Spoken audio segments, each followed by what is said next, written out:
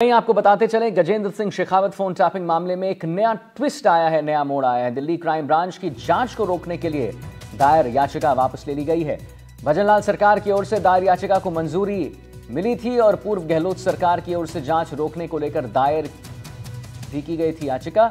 गजेंद्र सिंह शेखावत की ओर से Delhi crime branch में दर्ज करवाया गया था मुकदमा और सुप्रीम कोर्ट से मिली मंजूरी कि दिल्ली क्राइम ब्रांच की जाँच होगी तेज। जी हाँ तो बहुत ही विवादास्पद विषय है ये। गजेंद्र सिंह शेखावत फ़ोन टैपिंग मामले में एक नया मोड़ आया है। दिल्ली क्राइम ब्रांच की जाँच को रोकने के लिए दायर याचिका वापस ले ली गई है। सोमू आनंद हमारे साथ जुड़ गए हमारे संवाददाता। सोमू बड़ा एक, एक नया ट्विस्ट देखने को मिल रहा है। आखिर ये नया जो मोड़ आया है नया ट्विस्ट जो आया है क्या कुछ और चीज़ों को खोलेगा? क्या कुछ और चीज़ें सामने आ सकती हैं इस नए ट्विस्ट से?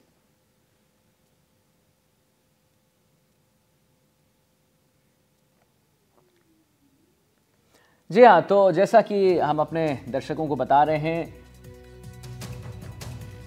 गजेंद्र सिंह शेखावत फ़ोन टैपिंग मामले में एक नया मोड़ आया है। जाँच होगी तेज, कई नेताओं की बढ़ सकती है मुश्किलें। गजेंद्र सिंह शेखावत फ़ोन टैपिंग मामले में एक नया मोड़। भजनलाल सरकार की ओर से हम आपको बता दें, दायर याचिका को मंजूरी, पूर्व गहलोत सरकार की ओर से जाँच रोकने को लेकर दायर भी याचिका की गई थी। वहीं अब दिल्ली क्राइम ब्रांच में जो है ये दर्ज करवाया गया था रिपोर्ट और अब दिल्ली क्राइम ब्रांच की जाँच तेज होगी। ये सुप्रीम कोर्ट से मंजूरी मिल चुकी है। तो अब देखने की बात ये होगी कि जब जाँच तेज होगी तो और कौन नेता हैं जो इस पूरे प्रकरण में और आ सकते हैं, जिनकी संलिप्तता हो सकती है। कई नेताओं की मुश्किलें बढ़ सकती हैं। सोमो आनंद हमारे साथ लाइव जुड़ गए हैं। हमारे संवाददाता हैं। सोमो, सुप्रीम कोर्ट से मिली मंजूरी कि दिल्ली क्राइम ब्रांच की जाँच अब तेज होगी। जैसा कि हम अपने दर्शकों को बता रहे थे, एक नया मोड़ है, नया ट्विस्ट है। कौन कौन से नेताओं की अब मुश्किलें बढ़ सकती हैं, सोमू? क्या कुछ अब देखने को मिल सकता है? कौन से नए खुलासे? जरा आपका आकलन बताइए।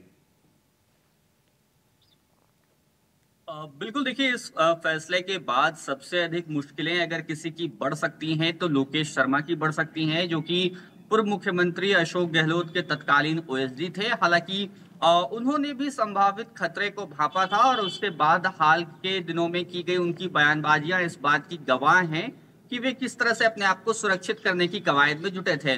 बहरहाल, इतना ज़रूर है कि अब दिल्ली क्राइम ब्रांच जब इस मामले की जाँच करेगी तो निश्चित रूप से एक बार फिर से लोकेश शर्मा की मुश्किलें जो है, वो और ज़्यादा बढ़ सकती हैं। उनसे पूछताछ का सिलसिला जो है, एक बार फिर से शुरू हो सकता है और उन्हीं के उनके बयानबाजी के आधार पर क्योंकि इस बीच में उन्होंने कई महत्वपूर्ण दस्तावेज़ और कई ऑडियो क्लिप जो है वो पब्लिक डोमेन में वो लेकर आए थे।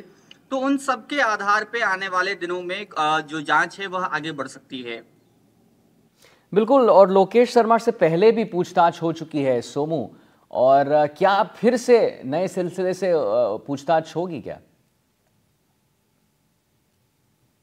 बिल्कुल देखिए उनसे और पूछताछ हो सकती है इसलिए भी पूछताछ हो सकती है क्योंकि वो जो दस्तावेज़ और जो ऑडियो क्लिप्स हम आपको याद होगा कि लोकसभा चुनाव में वोटिंग से पहले वो लेकर आए थे पब्लिक डोमेन में उन्होंने उन सारी चीज़ों को रखा था उसके बाद उन सभी मुद्दों पर उनसे पूछताछ हो सकती है इससे इनकार नहीं किया जा सकता। चलिए ठीक है सोमो बहुत बहुत धन्यवाद महत्वपूर्ण जानकारी देने के लिए।